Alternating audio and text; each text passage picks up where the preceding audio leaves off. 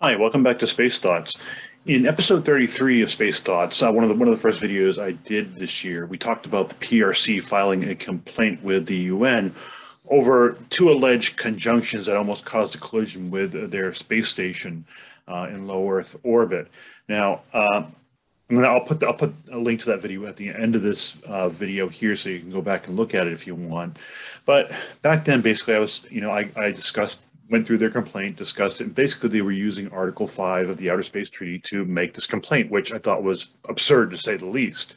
Um, what happened is the United States did have diplomatic, apparently had diplomatic contacts with Beijing about this, but on the January 28th, they also filed, made a filing to the General Assembly, basically pushing back and refuting this and and, and all but it's basically a rebuttal to uh, the PRC's complaint. And again, I'm going to frame all this again. I talked about lawfare a lot, and how I believed this original complaint was nothing but a lawfare move. And as I'll show you in a few minutes, this response rebuttal is a very good um, lawfare defense against the uh, against this complaint, and I think it was a very good move. So I'm going to share this screen now. I'm going to show you the, the actual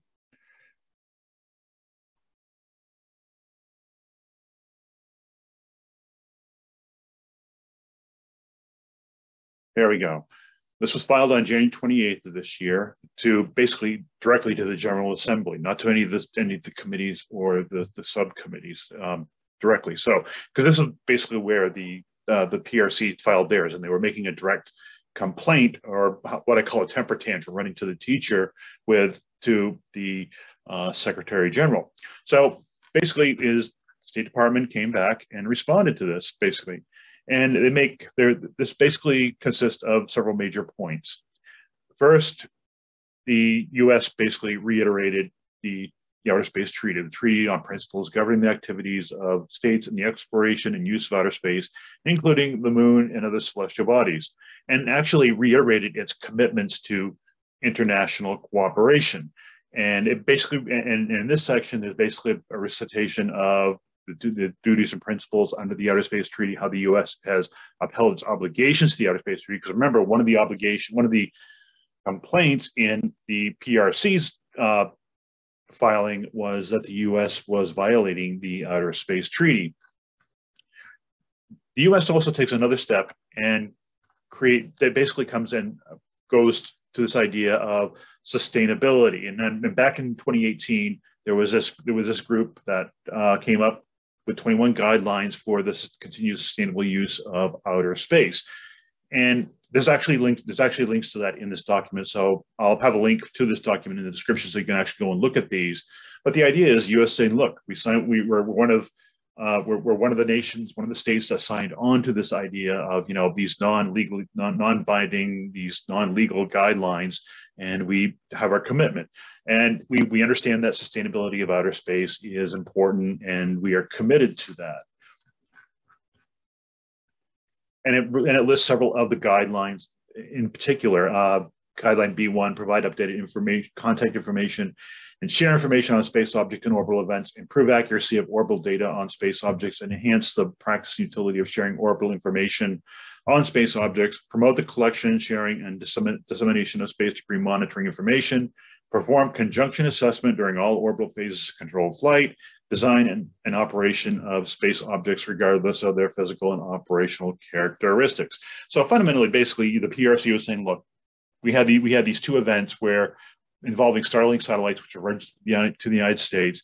And we had to take action in order to avoid a collision and endanger our taikonauts or astronauts. Basically, the international term is astronauts.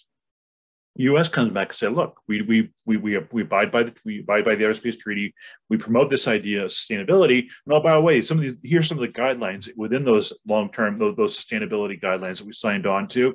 And guess what? We we actually do a lot of this. And I think I mentioned that a little bit in the video.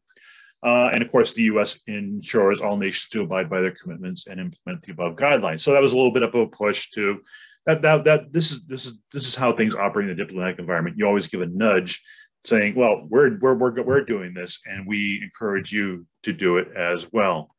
Um, ensuring spaceflight safety. So this goes into the meat of the complaint And basically, the uh, United States basically says it's committed to working with all nations to sustain the outer space environment for the benefit of all humanity, ensuring timely warning of potential hazardous space operations and enhancing spaceflight safety. And it brings up uh, its United Space Priorities Framework was, was released on December 1st of last year, and basically saying, which within that framework is saying the United States will continue to share space situational awareness information and provide basic space flight safety services to all space operators. Now, this is where it goes into the heart of the Chinese complaint. Chinese saying there was a conjunction, and the U.S. basically says, "Look, we've already made, we, have already had these commitments. We didn't see anything, um, and well, you know, there really isn't there really isn't an issue, and that that that you know that, that as the PRC complained about. So, as part of this key part of this commitment, the government of the United States conduct screenings of all active space objects for potential or orbit collisions. And this is true. This is true. The, you know, the, the U.S. Space Command in particular is very active, and in particular, the 18th Space Control Squadron uses what we call the space fence to monitor these things. And spacetrack.org is actually a website that anybody can register on and go. But in the in the event that there's going to be a potential collision, they get on the horn to the appropriate authorities and say, look, there's a problem here. So in cases where a potential collision hazard is calculated, the United States Space Command, through the United States Space Force's 18th Space Control Squadron, provides relevant analysis to all, test, all affected space operators, including to China, to support their decisions on collision avoidance maneuvers. In other words, this is some, this is an active thing that the U.S. Are, that the U.S. does for not only domestic uh, consumers but also for the international community as a whole. And they actually there are these space these data sharing agreements. Since November 2014, the United States has provided space flight safety information to the government of China, including emergency notifications of high-risk collision hazards being crewed and robotic Chinese spacecraft and other space objects. In other words, this is this has been an ongoing practice, and I believe this there is a bilateral data sharing agreement with the People's Republic of China, saying, "Look, we've been doing this all along for you, for you and uh, this isn't something this is something new this isn't something we you know we, we we've yet to conjure this is something that's been actually active. Pointing to it in the specific instances cited in the note verbale from from china to the secretary general the united states space command did not estimate a significant probability of collision between the china space station and the referenced united states spacecraft. In other words the two starlink act in other words according to our data you know, and our calculations, there was no danger of a conjunction or a collision, therefore no, no notification. However, if it had been, it probably, they would have probably gotten on the horn and said, look, there's a to both the PRC or the, the Chinese National uh, Space Agency in particular and start and, and SpaceX said, look, you guys to have you guys could potentially collide. You got to take some action. But because the activities did not meet the threshold of established emergency collision criteria, emergency notifications were not warranted in either case. In other words, uh, by, by, by the standards set by the uh, by, by Space Command, by Space Force, there was really no danger of a collision. Therefore, no emergency notifications were warranted. And again, China PRC has access to this data all the time through spacetrack.org and through, I believe, I believe they do have a data sharing agreement with uh, US Space Command. If there had been a significant probability of collision involving the China space station, the United States would have provided a close approach notification directly to the designated Chinese point of contact.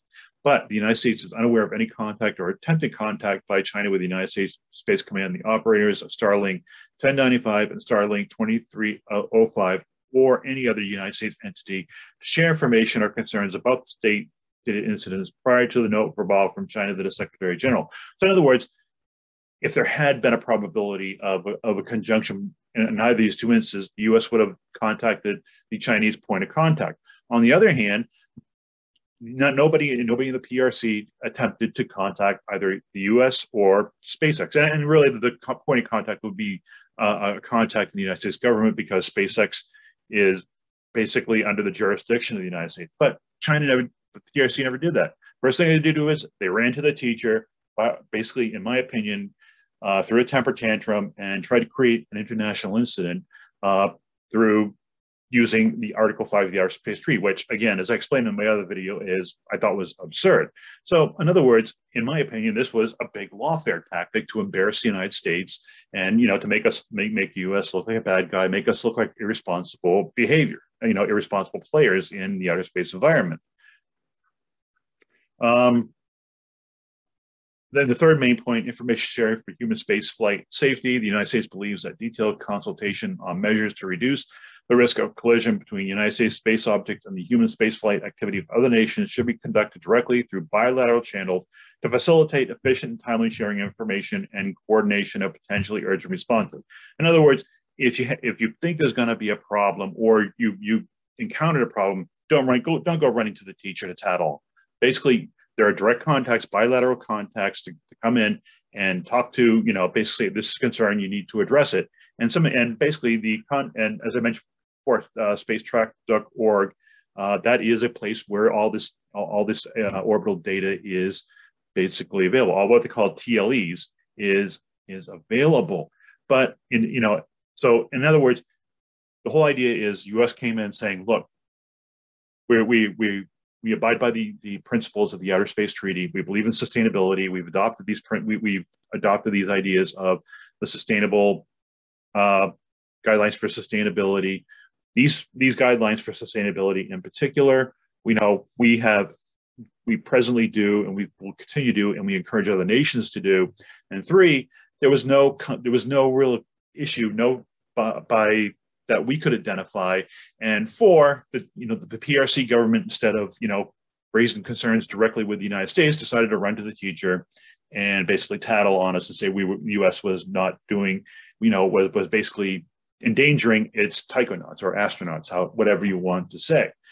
So, what does this what does this all mean in, in, in a sense is like I said, this was a as I noticed in the last video, this was lawfare. Basically, it's using the international body like the UN and using the Outer Space Treaty pretty badly, in my opinion, to try and create an international incident, stir up trouble, uh, and, and, such. And I really, I really thought it was kind of, you know, and, and I, there's been some speculation by by other commenters, which might be true that you know this was designed to take some heat off the Russian Federation for their ASAT demonstration back in um, back in November 5th on November 15th. Um, well, that you know that's all well and good. I think honestly, I think the Russians weathered that pretty well politically, but I think this is this is a stick in the eye for the Russian Federation to, uh, for the Ch- PRC to cover the Russian Federation, and you got to see that happening a lot. In fact, uh, just in Beijing uh, at the Olympics, um, when when uh, Mr. Putin and, and Mr. and Xi Jinping met,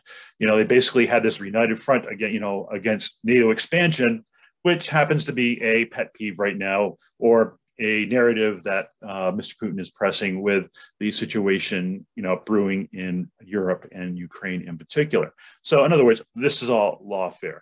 And you know, I kind of jump on the idea of you know this whole idea of endangering astronauts with space activities because basically the PRC back in 2007 uh, tested an ASAT that blew up a weather satellite that created a massive amount of debris and uh, something that the International Space Station has to dodge quite often. So, I mean, it's a matter of, you know, I hate to use the word hypocrisy because nowadays it's just overused, but it's, you know, really call it's, it's just really ludicrous to say that. And on top of that, you know, we, we have this issue, we have this event in geosynchronous orbit where the PRC demonstrated a capability, demonstrated, tested, I don't know what it is, but basically they moved one of their dead satellites out of out of geo, not and you know, slightly moved it out. And it kind of really impressive capability but you know, in my opinion, it probably could that probably was not a debris removal demonstration, probably a uh, a test or a demonstration of an anti-satellite capability. And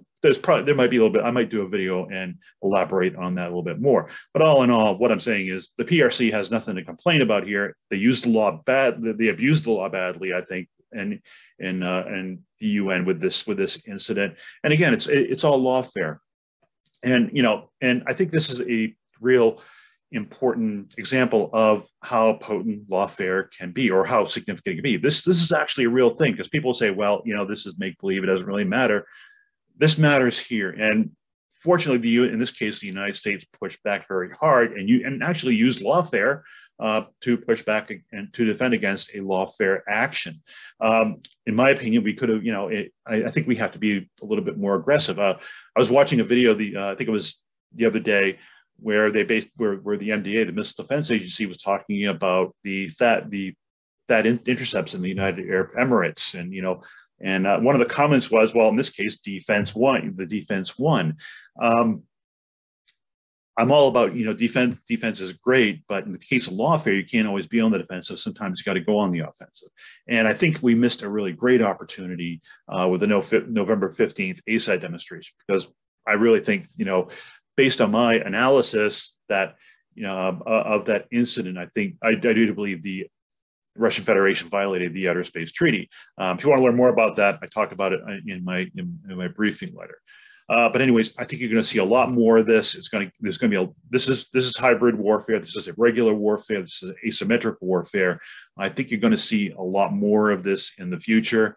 Um, and I hope we keep on our toes. Again, you know, uh, law isn't all about all, in the diplomatic arena isn't always about getting people together. It's also about using law diplomacy as as a weapon of war. Uh, and to that effect, you know, you know, people talk about well, we get we want peace we, we're really at war right now. And I think this, this incident here definitely demonstrates that. So that's all I have for this video. Uh, I hope you're safe. I hope you're healthy and we'll talk to you next time.